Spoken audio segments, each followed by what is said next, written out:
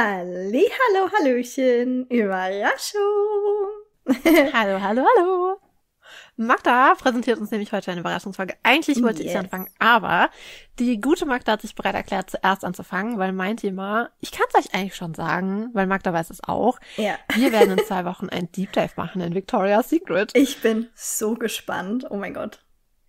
Ich auch, aber das ist so zeitintensiv, dass Magda gesagt hat, sie, oder ich habe sie gezwungen, dass sie anfängt. Nein, ist okay. Also ähm, dazu muss man sagen, ich habe, ich war, habe ein bisschen so, ein Pauline äh, gebracht. Ich habe, glaube ich, drei, vier Mal mein Thema umgeschmissen. ja, ähm, das kennt man ja normalerweise echt nur von mir. Nee, weil normalerweise weiß ich eigentlich immer direkt, das ist meistens allerhöchstens zwei Themen, die zur Auswahl stehen. Und dann kam noch das dazu, und dann kam noch das dazu. Und dann, pass auf, ich saß letztens vor dem Fernseher und habe mal wieder, wie man es halt manchmal so macht, Sex in the City geschaut. Es waren so die späteren Episoden. Und da habe ich Carries mhm. Freund gesehen, diesen Russen. Du weißt bestimmt, wen ich meine, gell? Mhm. Petrovski, genau. Natürlich. Und ähm, dann ist mir eingefallen, dass dieser Schauspieler kein geringerer als Michael, Michael, ich weiß aber nicht, wie man es ausspricht, Baryshnikov ist. Mhm. Der, bevor er zu Carries Freund wurde, einfach, ähm, ach, keine Ahnung, vielleicht der, der beste Balletttänzer ever war. Ich weiß nicht, ob du das wusstest. ja, also das wusste ich sogar, obwohl ich okay. mich nicht so gut auskenne mit sowas, aber. Sehr gut. Weil, ich hatte ja. mal eine beste Freundin, die Ballerina war. Uh, na gut, dann kennst du dich oder aus. Ist, oh, die hört oft unsere Folgen. Also, wenn du das gerade hörst, Freundin, du wirst wissen, wer du bist, weil es gibt nur eine Freundin, die Ballett getanzt hat, die ich habe und Gruß an dich. Grüße gehen raus, unbekannterweise. ja, sehr cool. Dann weißt du ja schon voll Bescheid. Anyways, ich bin dann in so einen Fuchsbau auf YouTube und TikTok gefallen, wie man es halt so macht und habe mir stundenlang Videos von Baryshnikov angesehen. von Baryshnikovs makelloser Technik und ja, dann kam eins zum anderen und deshalb reden wir heute über die Geschichte des Titüs. Uh, okay, cool.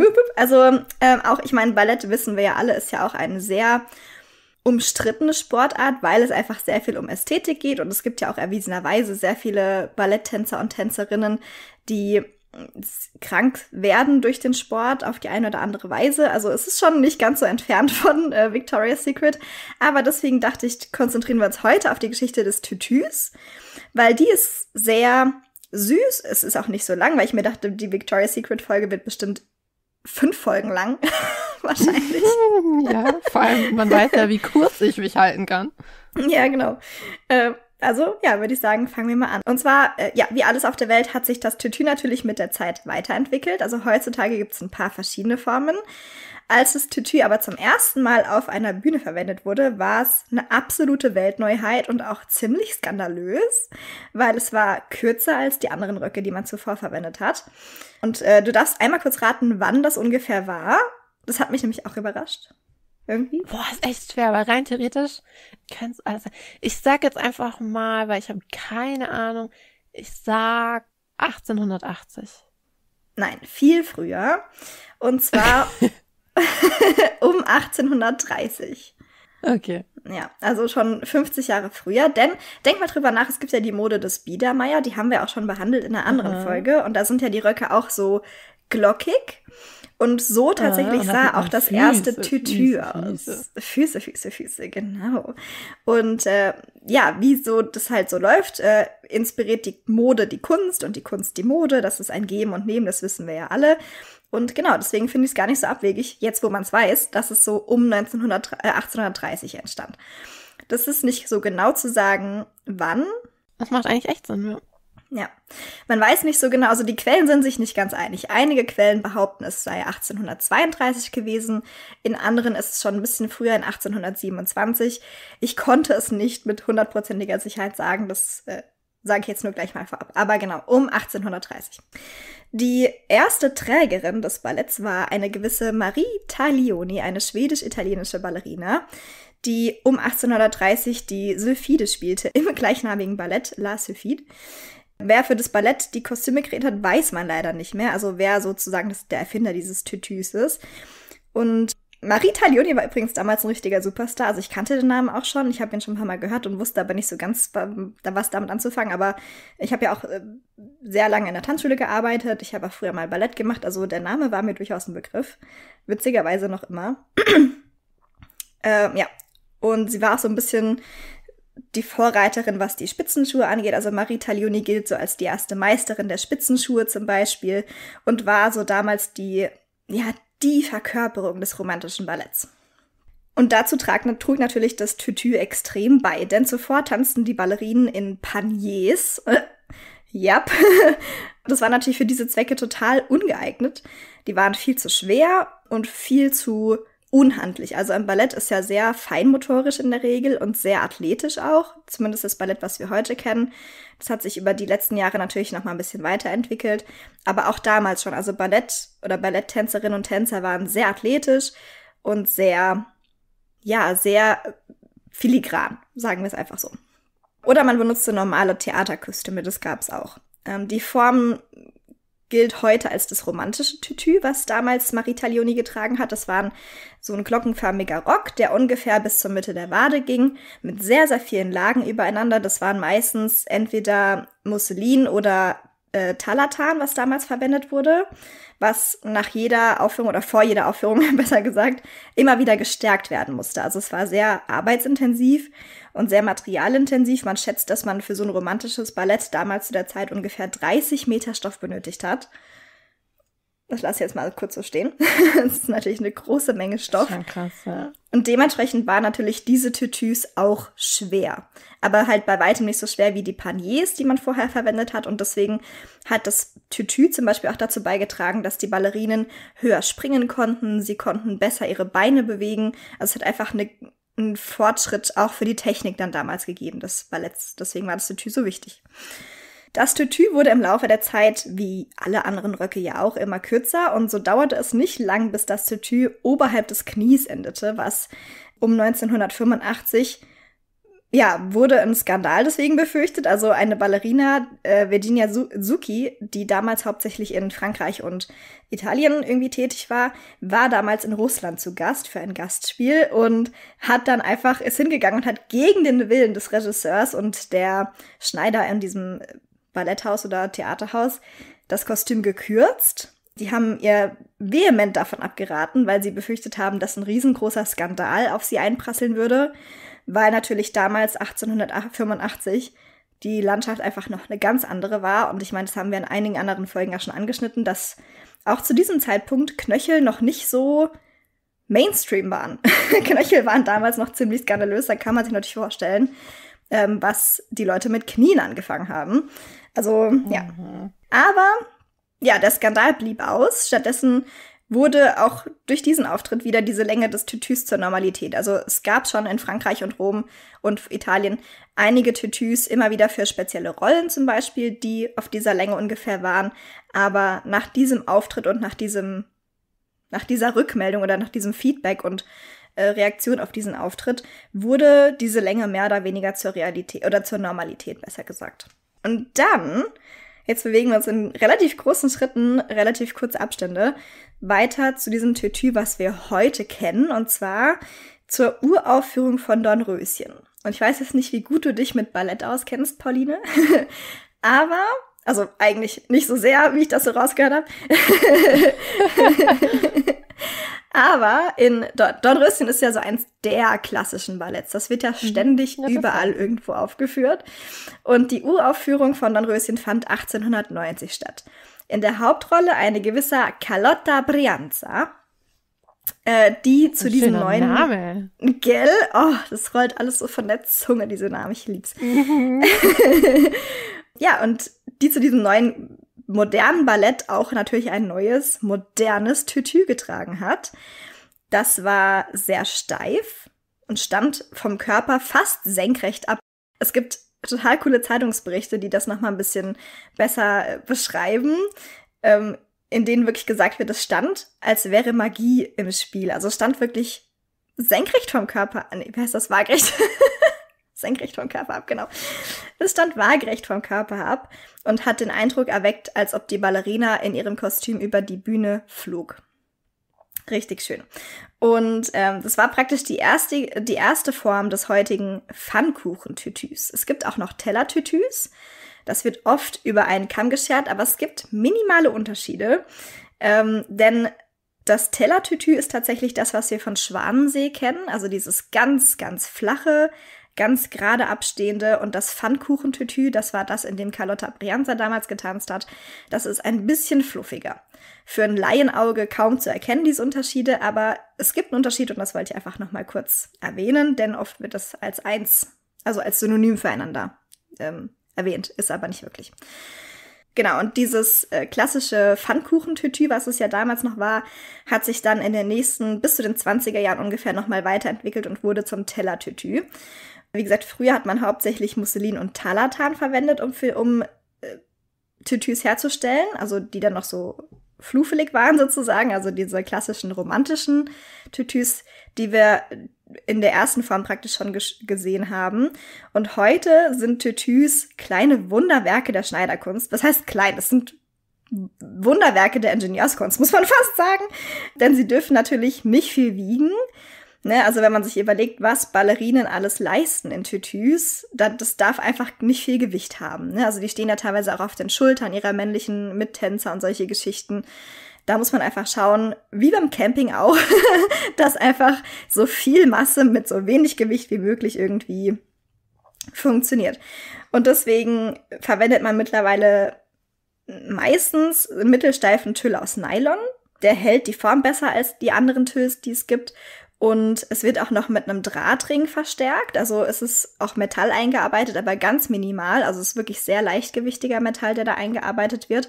Einfach, dass man diesen Stand natürlich bekommt. Und witzigerweise, man würde ja da denken, dass das einfach halt normaler Tüll ist. Naja, mein Gott, dann schnallt man sich da irgendwie um die Taille. Aber es sind tatsächlich acht bis zwölf verschiedene Tülllagen und die oberste ist immer die längste. Also ist es dann so gestaffelt der Länge nach, dass die oberste ganz oben ist, äh, die längste ganz oben ist und die kürzeste ganz unten. Und dadurch hat man halt diesen ausfedernden Effekt, den ja Tütüs oft haben. Dadurch wirkt natürlich so ein Tütü sehr federleicht und sehr romantisch natürlich. Ja, Tütüs sind wunderschön. Um 1950 wurde dann das Puderquastentütü noch erfunden, also noch gar nicht so lange her. Das ist so eine Mischung aus einem Pfannkuchentütü und einem Petticoat der 50er Jahre. Also ja, dadurch war es natürlich für die damalige Zeit ein bisschen zeitgenössischer, ne? weil diese damaligen Tellertütüs, die ja so um die 20er rum entstanden sind, die waren damals dann schon so, naja, es sieht halt ein bisschen altbacken aus, können wir da nicht irgendwas Moderneres machen? Und dann hat man eben das, das Puderquastentütü erfunden von einer New Yorker Choreografin und Tänzerin, nämlich Barbara Karinska. Und das wird heute zum Beispiel noch für den Nussknacker verwendet. Also da ist nochmal ein Unterschied zu sehen, weil es tatsächlich nicht so eine große Spannbreite hat. Es ist ein bisschen, es ist nicht so steif wie ein Tellertütü. Ich weiß nicht, ob du den Nussknacker vor Augen hast, aber. Auf jeden Fall.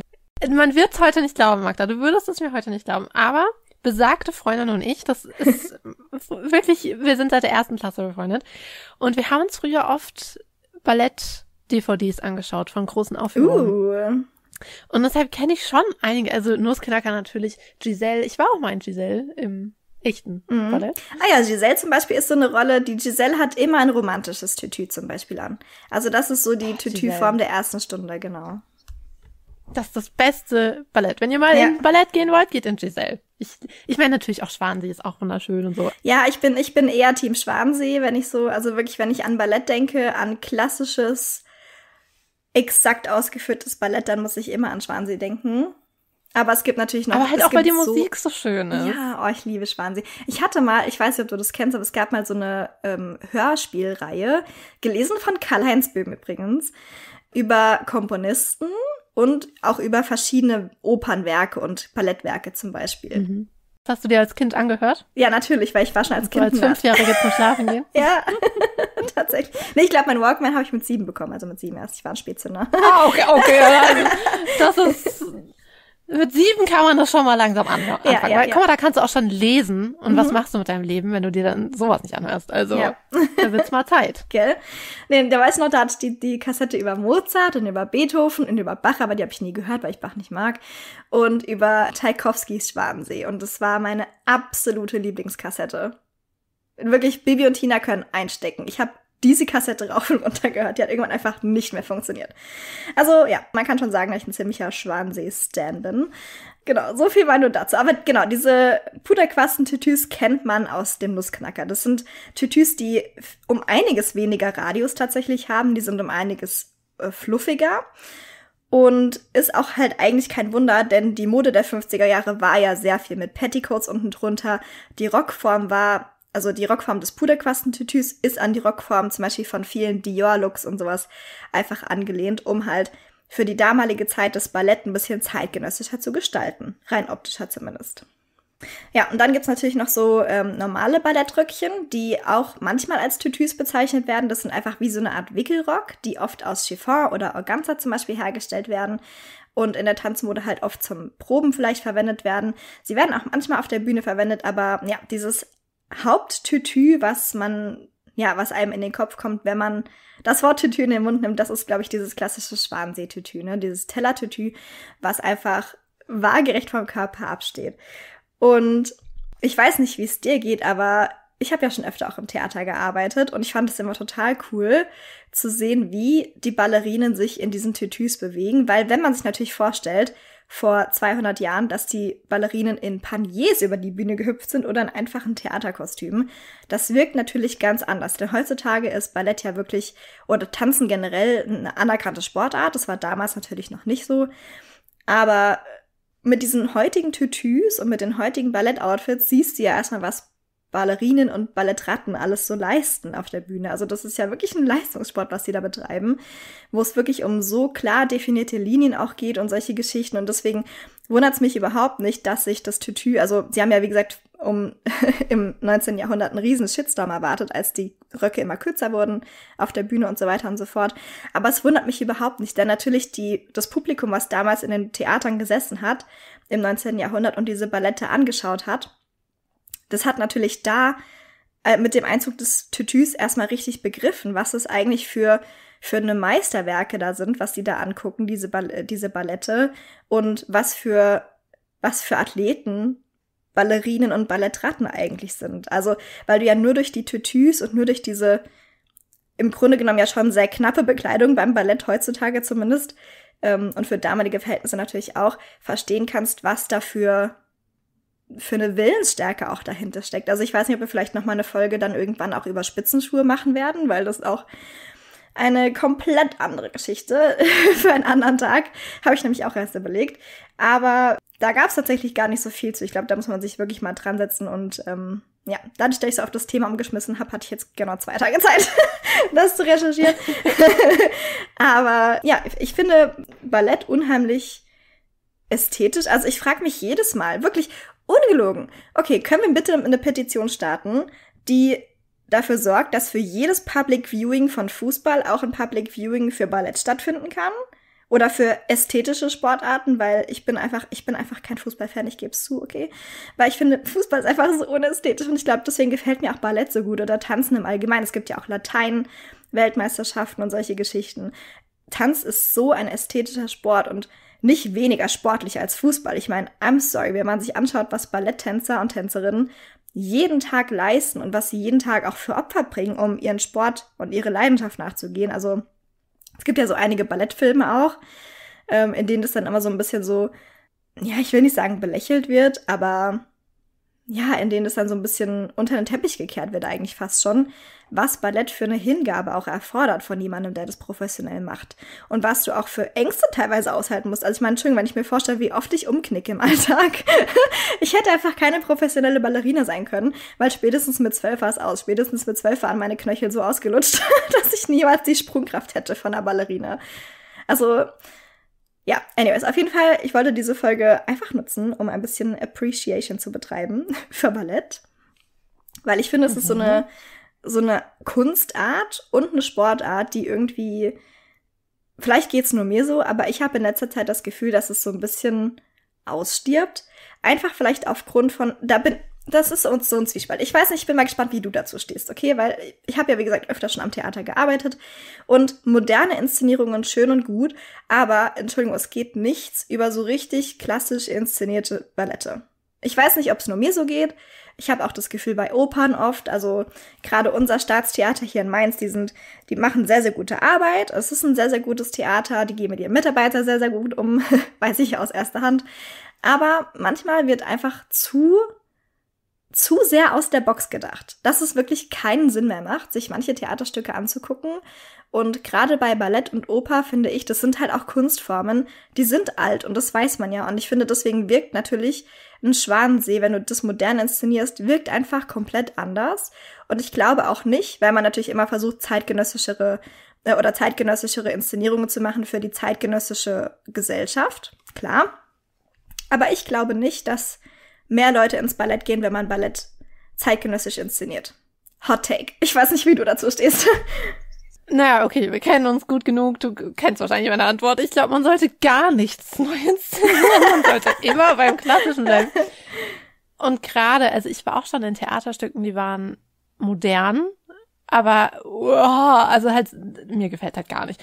Ich denke auch, du kannst Dinge irgendwie cool. Weißt du, klar, ich verstehe schon auch den Ansatz, dass man denkt, hey, nach 300 Jahren könnte man vielleicht mal so ein Stück auch ein bisschen, ja, bisschen dem Zahn der Zeit irgendwie anpassen, aber mir gefällt es eigentlich nicht meistens. Also ich glaube, ich habe noch nichts gesehen, was modernisiert wurde, was mir gefallen hätte. Und gerade auch bei Ballett, ich weiß nicht, ich gehe doch in Schwanensee, weil ich Schwanensee sehen will. Das mhm. klassische Schwanensee. Und vielleicht bin ich da auch zu einfach gestrickt, wer weiß. Aber ich will dann gar kein Experiment sehen. Ich will Nee, ich will Schwanensee sehen. Und ich meine, ich weiß, dass klassische Stücke sind sehr teuer, okay? Also wenn du Stücke klassisch inszenierst, richtig pompös, also Opern zum Beispiel, ich weiß, als ich mal am Theater gearbeitet hatte, haben wir eine Oper inszeniert, richtig klassisch Oper inszeniert, mit einem riesen Opernchor, einem riesen Bühnenbild. Wir hatten über 200 Kostüme. Es war eine mega Furore hinter der Bühne, auf der Bühne. Aber das Publikum hat's geliebt. Aber das natürlich, man weiß ja, dass natürlich die Theater sind am Struggle, das wissen wir, okay, von daher. Mm. Aber es ist keine Lösung, den Leuten einfach nichts mehr anzuziehen, okay? das ist nicht die Lösung, Leute. Uh, naja. Um, ähm, anyways, also startet gerne eine Petition dafür, dass Theater wieder wieder klassischer wird. Weil, und ich meine, damit kann man ja auch werben. Ich meine, Entschuldigung, wie viele moderne Inszenierungen von Schwanensee wollt ihr denn noch machen? Ich finde, das kann man auch ein bisschen für sich nutzen. Das ist ja auch mittlerweile fast ein Alleinstellungsmerkmal als Theater, wenn du ein Ballett klassisch inszenierst. Das stimmt eigentlich auch schon also, wieder. Gell? Ja, also nutzt das für euch, Leute. Ich sag's nur. Aber wer weiß, Geschmäcker sind verschieden. Also ja, ich meine, es gibt mit Sicherheit auch Leute, die das total feiern. Und ich meine, ich verstehe auch als Künstler am Theater ist man natürlich auch Künstler, dass man nicht das machen möchte, was schon tausend Leute vor dir gemacht haben. Das verstehe ich irgendwie auch. Aber man kann ja Theater und auch Ballett und Oper klassisch inszenieren und immer wieder seinen Twist irgendwie reinbringen. Das finde ich irgendwie fast cooler als, weil ich meine, theoretisch, ich meine, guck mal, Schwansee zum Beispiel oder auch andere klassische Ballette. Es gibt ja immer bestimmte Parts oder Parts, die sowieso immer gleich sind. Also das ist ja, wenn du eine Ballettausbildung zum Beispiel machst oder ein Ballettstudium, also klassisches Ballett zum Beispiel studierst, oder auch bei der Oper hast du ja immer die, die klassischen Repertoires, die du einstudierst während dieses Studiums, damit du dann hinterher auf dem Arbeitsmarkt gut dastehst und diese ganzen Paars kennst. Weil die immer wieder getanzt werden. Das heißt, die Choreografie ändert sich ja sowieso wenig. Und warum sollte man dann die anderen Sachen ändern? Ich verstehe es nicht. I just don't get it. Nee, nee. Never change a winning team, sagt man doch so schön, oder? Also manchmal ja, muss man auch einfach Sachen beim Alten lassen, wenn sie funktionieren. Da bin ich ganz bei dir. So, Rant beendet, würde ich sagen. Gewitterwolke schieben wir jetzt wieder beiseite. Ich finde es, also, keine Ahnung, es ist ja wie allem, mit allem in der Welt, dass sich alles irgendwie ständig weiterentwickelt. Also wer weiß, was wir in 20 Jahren für Tütüs auf der Bühne sehen, die stehen wahrscheinlich dann wirklich senkrecht vom Körper. Kann gut sein. Ähm, aber ich fand es einfach so eine süße Geschichte, weil es natürlich auch so ein bisschen ja, das Ballett nochmal in eine ganz andere Richtung auch gelenkt hat. Also ich glaube, Ballett heute wäre einfach nicht so athletisch, wie es ist, wenn die Leute immer noch Paniers tragen würden auf der Bühne. Deswegen, ich fand's ganz süß. Nee, ich find's echt spannend. Also ich stehe total auf die Tüß, ich stehe total auf Ballett. Ich liebe halt auch, ich glaube, es geht ja vielen Leuten so, dass sie diese Ballettästhetik einfach schön finden. Mhm, ja, oh mein Gott, Balletcore ist nicht umsonst ein, ein, eine Ästhetik auf, auf Instagram. ja, oh Gott, ich liebe es. Ich habe als Kind auch Ballett getanzt. Mhm. Und wenn ich mir heute so die Fotos von mir früher im Tütü anschaue, denke ich auch so, oh. Ja, ja ich habe auch immer noch meine alten Spitzenschuhe. Ich glaube, die passen mir sogar auch immer noch, aber ich glaube, ich krieg's nicht mehr auf die Reihe. Stehe auf Ballett. Also Ach, ja. Leute, guckt euch mal ein Ballett an, besucht mal ein Ballett, macht das einfach mal. Es muss nicht immer eine Netflix-Serie sein. Man kann auch mal das Haus verlassen, sich schön machen ja. und ein Ballett besuchen. Und übrigens, kann ja, apropos Netflix, es gibt ja auch, man muss ja nicht unbedingt auch in, also ich meine, unterstützt die Theater. Ich glaube, das steht außer Frage. was, wär, was wären wir als Gesellschaft ohne Theater? Das kann doch wohl nicht sein. Aber theoretisch, wenn ihr keine Lust habt oder euch nicht traut, ins Theater zu gehen, es kann ja auch sein, wenn ihr sagt, ich war aber noch nie im Theater, ich weiß gar nicht, wie man sich da verhält und wie man sich da anzieht. Es gibt ja. auch Websites mit Theateretikette, das kann man nachlesen.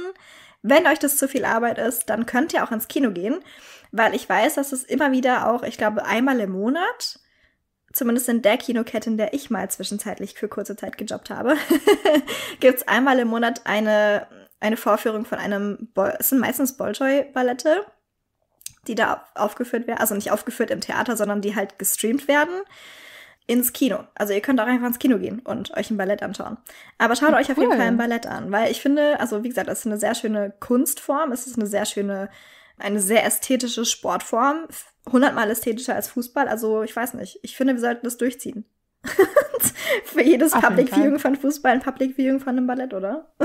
Wäre nur fair. Ja, und apropos äh, Ballettetikette, ich kann euch schon mal sagen, was ihr nicht machen sollt.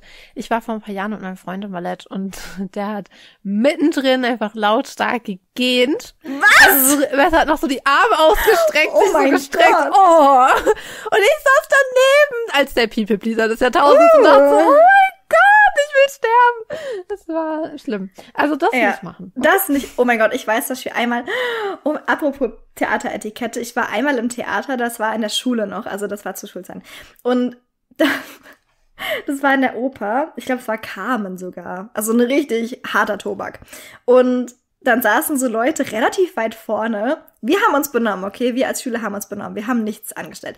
Und dann saßen Leute aber weiter vorne und die haben die ganze Zeit geredet in einer Tour. Und dann hat irgendwann der Dirigent aufgehört zu dirigieren, hat sich rumgedreht und hat die zusammengeschissen, dass sie doch bitte leise sein sollen oder den Raum verlassen. Ich war so, yes! oh mein ah, Gott. Oh mein Gott. Würdige doch diese Kunstform. Und ich war, es war nicht mal eine schlechte Inszenierung. Muss, muss ich dazu sagen. Es war tatsächlich eine, sehr, es war eine moderne Inszenierung, aber es war eine sehr, sehr gute Inszenierung tatsächlich von Carmen. Also, ja. Oh mein Gott, nein, also nicht reden und nein. nicht Einfach, einfach sich benehmen, wie man sich verhält. Wenn ihr es langweilig findet, es wird euch keiner übel nehmen, wenn ihr aufsteht und leise und sachlich den Raum verlasst. Es wird euch keiner übel nehmen. Aber das werden euch Leute sehr, sehr hart ankreiden, weil Theaternerds, was heißt nicht mal Theaternerds, Leute, die ins Theater gehen und hören Gebabbel von der Seite irgendwoher, das können die gar nicht abhaben. Und ihr werdet so viele böse Blicke ernten. Ich schwöre euch, es ist einfach, es ist hundertmal leichter, diesen Raum einfach zu verlassen, als sich diese bösen ja. Blicke zu geben. Macht es einfach. Ja. Aber ich finde das, also ich finde das Thema richtig cool. Danke, dass du es mitgebracht hast. Ja, und ich glaube, es ist auch ganz gut, dass es eine kurze Folge war, weil nächst, äh, also in zwei Wochen wird es sehr lang. Mhm. Das kann ich euch sagen. Es wird lang. Aber ich wollte auch noch eine emotionale Sache kurz sagen. Ja. Weil, also, wenn wir diese Folge gerade aufnehmen, ist, also wir hier, Magda und ich in dieser Gruppe hier, sind ja große Friends-Fans. Ja. Und jetzt, da wir die Folge, also wenn wir die Folge gerade aufnehmen, ist Matthew Perry vorgestern gestorben. Mhm. Ein harter Schlag. Und was ich da echt kurz mal loswerden wollte, also ich war auch unglaublich traurig, als ich das gelesen habe. Also mich hat, glaube ich, selten Celebrity-Tod so getroffen wie bei Matthew Perry. Ich habe wirklich ziemlich viel geweint die letzten beiden Tage, weil man dann ja auch lauter so Videos sieht und mhm. oh Gott, weil Friends ist halt so eine Serie, die guckt man einfach permanent. Ich war auch so kurz davor, das Thema der Folge zu ändern in Kostüme von Friends. Also, dass man die so ein bisschen auseinander nimmt. Aber es sind halt nun mal sechs Leute und das war wirklich, weiß ich nicht. Da wusste ich gar nicht, wo ich anfangen soll. Ich habe angefangen. ich wollte das Thema noch mal wechseln. Aber nein. Ich liebe Friends. Und es ist halt, ich meine, so geht's ja wahrscheinlich ganz vielen Menschen, dass man die Serie sieht und es fühlt mhm. sich wirklich an, als wären es deine Freunde und man fühlt sich weniger allein und egal, was gerade in deinem Leben so ist, es tut einem irgendwie immer ja, gut. Das ist irgendwie so balsam für die Seele. Seele. Mhm. Total. Und ich glaube, deshalb ist es auch für viele Menschen so schlimm, dass er jetzt gestorben ist. Aber was ich wirklich da kurz sagen wollte, stell dir mal vor, also man sieht ja die letzten paar Tage ein solches, also so viele Menschen trauern um ihn und reden über ihn, machen Videos über ihn und so weiter. Also so viele Menschen betrifft es irgendwie und so viele mhm. Menschen fühlen sich traurig. Und stell dir mal vor, diese ganze Liebe für ihn, die man jetzt gerade auf der Welt sieht. Stell mal vor, das hätte, hätten sie ihm vorher schon gezeigt. Also, mhm. das ist ja oft so, wenn dann Leute tot sind auf der Beerdigung, weißt du, werden die schönsten Dinge gesagt. Ja. Und man denkt sich manchmal, oh, hätte man das der Person einfach mal eine Woche vorher gesagt. Was hätte das für einen Unterschied gemacht? Mhm. Und das habe ich bei ihm halt jetzt ganz stark gedacht, weil er ja in den letzten, also er hatte ja Probleme mit gewissen Dingen und hat sich ja auch sehr einsam gefühlt zeitweise. Und stell dir mal vor, da hätten die Menschen ihm gezeigt, wie wichtig er ihnen ist und mhm. Wie, viel er ihnen einfach bedeutet. Und da dachte ich mir so, boah, das sollten wir, glaube ich, wirklich alle ein bisschen mehr beherzigen in, in, unserem Alltagsleben, dass wir Leuten öfter einfach mal sagen, wie gern wir sie haben mhm. und wie wichtig sie für uns sind und wie toll sie sind. Einfach mal ein Kompliment machen, einfach mal was Liebes sagen, weil das kann wirklich komplett deren Tag verändern, deren Woche, deren Monat. Ja. Das macht was mit Menschen. Ja, total. Also hier ein kleiner Tipp an uns alle, einfach mal ein bisschen Liebe verstreuen ja. in der Welt. Vor allem, wenn man gerade so sieht, was in der Welt so los ist. Ich mhm. glaube. Kann man gut gebrauchen. Wir alle ja. brauchen. Ich glaube, der einzige Mensch, den ich kenne, der traumatisiert ist von Friends, ist mein Mann. Weil. Ja, aber er hat ja auch nie richtig geguckt, okay? Er muss der Sache mal eine Chance geben. er hat's nie geguckt, weil, pass auf, Pauline kennt die Story schon, aber es war ja Corona und mein Mann kommt ja aus Marokko, das heißt, wir konnten uns teilweise sieben, acht Monate am Stück nicht sehen und haben immer abends gefacetimed zum Einschlafen. Ich weiß, sind wir nicht cute. Und ich habe ja. ich hab dann immer zum Einschlafen am Tablet Friends angemacht und habe immer als Telefon mit ihm tele also er ist auch die ganze Nacht dran geblieben meistens. Das heißt, der arme Kerl hat einfach die ganze Nacht Friends gehört und ich schwöre, jedes Mal, wenn dieses Titellied irgendwie im Radio läuft, kriegt er kriegt er immer noch Gänsehaut, weil es für ihn so ein Trauma ist. der arme Kerl. Ach ja. Aber er müsste einfach mal versuchen. Friends ist wirklich eine tolle Serie. Ja. Ich habe Friends damals das erste Mal während der Motorschule geschaut. Und das war ein mhm. Semester, das echt hart war. Und ich habe gedacht, ich schaff's nicht, weil wir, das war wirklich ein schlimmes Semester und wir hatten so viel zu tun. Ich habe meine Freunde eigentlich gar nicht gesehen, weil ich mhm. bin jeden Tag gependelt, hin und her. Und es war einfach unglaublich viel Arbeit und boah, es war echt eine harte Phase irgendwie. Mhm. Und in der Zeit habe ich Friends geguckt und es hat mir so geholfen und so gut getan. Und ich weiß noch, als ich dann die letzte Folge gesehen habe, ich habe wirklich geweint hinterher, weil sich das angefühlt hat, als wenn ich gerade ja. Tschüss zu meinen Freunden sagen müsste. Das weil stimmt. mir das wirklich so die hingen mir so am Herzen während der Zeit. Und seitdem habe ich noch 500.000 Mal gesehen. ja. Und das ist wirklich traurig, jetzt mir vorzustellen, dass jemand von denen nicht mehr da ist. Es ist wirklich traurig. Deshalb, ich sag's, ja. Magda weiß es, ich rede sehr viel über den Tod in letzter mhm. Zeit. Und das ist mein Thema zur Zeit. Ja. Und es ist halt leider so, jeder von uns kann jeden Tag gehen, so hart es klingt. Und deshalb seid ein bisschen lieb zueinander. Ja, auf jeden Fall. Es muss ja gar nicht irgendwie jeden Tag eine halbe Stunde Liebesmonolog sein, aber einfach, ich weiß nicht, sagt eurer Familie, sagt euren Freunden einfach, ich weiß nicht, regelmäßig, dass, dass ihr sie schätzt und dass ihr es schön findet, dass sie in eurem Leben sind und dass sie, ich weiß nicht, ist auch so ein ganz anderes Gefühl, wenn man natürlich Freunde hat. Ich meine, das hat nicht jeder, diesen Luxus, das weiß ich, dass man wirklich gute Freunde hat, aber ich weiß zum Beispiel, dass Pauline und ich, unsere Freundschaft ist sehr, sehr gut und ich weiß, dass Pauline auch noch andere Freunde hat und bei mir auch im Freundeskreis sind einige Freunde dabei, wo ich weiß, ich kann denen irgendwie alles erzählen und es wird niemals irgendwie so ein Judgment mir entgegengebracht, also so eine, so eine Bewertung oder so eine mhm. Herabwertung. Also ich weiß, dass ich zu dir kommen könnte oder auch zu anderen Freundinnen und denen einfach alles sagen könnte, was mir auf der Seele brennt und das ist so viel wert. Also wie gesagt, ich weiß, nicht jeder kommt in diesen Luxus, solche Freundschaften zu erfahren, aber ja, also geht einfach, geht sorglich mit euren Freunden um und sagt ihnen ab und zu mal, dass ihr sie lieb habt, wirklich. Also so cheesy das jetzt auch irgendwie klingt und so, ich weiß nicht, so kitschig, aber sagt ihnen auf jeden Fall ab und zu mal. Hilft sehr viel. Ja, und fragt öfter auch mal nach, wie es Leuten geht. Wie es ihnen wirklich also geht, vor allem. Wirklich mal ja. fragen. Also nicht so, hey, ja. wie geht's, sondern so, hey, wie, wie geht's dir heute? Wo, was ist, wie, wie geht's deinem Kopf? Wie geht's deinem Körper? Wie geht's, wie ist dein aktueller Zustand gerade? Was denkst du gerade? Ja. Ja, und ihr würdet nicht meinen, gerade bei Leuten, die vielleicht mit irgendwas strugglen, ein mentales Problem haben. Ich meine, habe ich ja auch. Ich habe mein Leben lang schon Depressionen Mhm. und Essproblematik und pipapo. Und ihr würdet nicht meinen, was das für Leute manchmal bedeutet, einfach so ein kleines Kompliment irgendwie zu hören. So, Mhm. hey, keine Ahnung, ich mag die Art, wie du deinen Apfel schneidest oder was weiß ich. Ich finde deine Schrift voll schön. Ja. Oder keine Ahnung. Es kann irgendwas ganz Kleines sein, aber das kann für Menschen wirklich viel bedeuten. Mhm. Ja, ist so. Und euch kostet das nichts. Das kostet gar nichts. Einfach mal nett zueinander zu sein. Und wirklich gerade in solchen Zeiten wie jetzt. Mhm. Also ist es, finde ich, noch wichtiger als je zuvor, einfach, ja, liebevoll zueinander zu sein. Ja. In dem Sinne, wir haben euch alle lieb. und schaut Friends, seid lieb zueinander. Ja. Und geht mal wieder ins Theater. Unterstützt mal die lokale Kunst. Genau. Sonst noch ein Tipp. Keine Ahnung. Recycelt.